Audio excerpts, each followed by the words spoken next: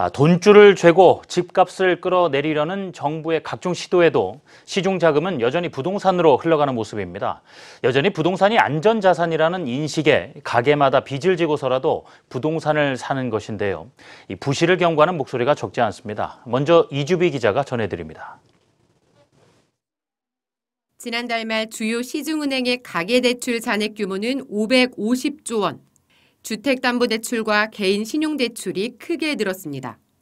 최근 서울 주요 지역을 중심으로 부동산 시장이 다시 꿈틀대면서 대출 수요가 늘어난 것으로 풀이됩니다. 실제 지난주 서울 아파트 매매 가격은 0.18% 상승하며 그 폭을 키우고 있습니다. 한 7월 중순 이후 뭐 급속도로 좀 매수세가 붙으면서 조정이 됐던 물건들은 거래가 다 되면서 뭐 한 보름 사이에 한 2억 정도 올랐어요. 흐름이 전체적으로 좀 어, 상승률에 그 주문도 많이 오시고요. 가격 상승 여기뿐만이 아니고 다 그래요.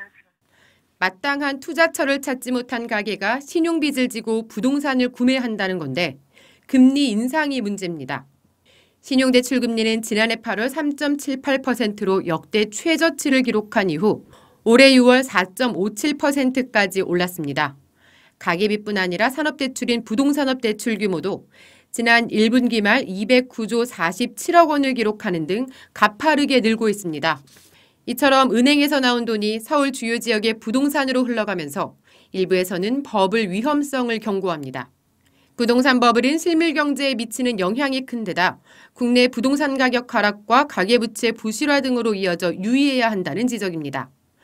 부동산 자산 비중이 높다는 것은 부동산 가격이 급락을 했을 때 가계의 어, 자산 감소라든지 부실화 가능성이 더 커진다라는 걸 의미하니까 뭐 부동산 가격의 등락에 따른 가계의 그 건전성 리스크가 뭐 다른 나라보다 더 크다라고 볼 수가 있겠죠. 정부는 지난해 여러 차례 대책을 내놓으며 가계부채와 부동산 시장 안정화를 다짐했지만 결국 효과는 미미했습니다.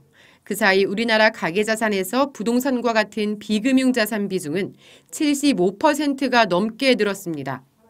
금리가 대세 상승기에 접어들면서 가정마다 빚 갚는 데 돈이 묶이며 내수 침체와 전반적인 경제 활력을 낮추는 악순환으로 이어질 것이라는 경고에 주목해야 할 때입니다.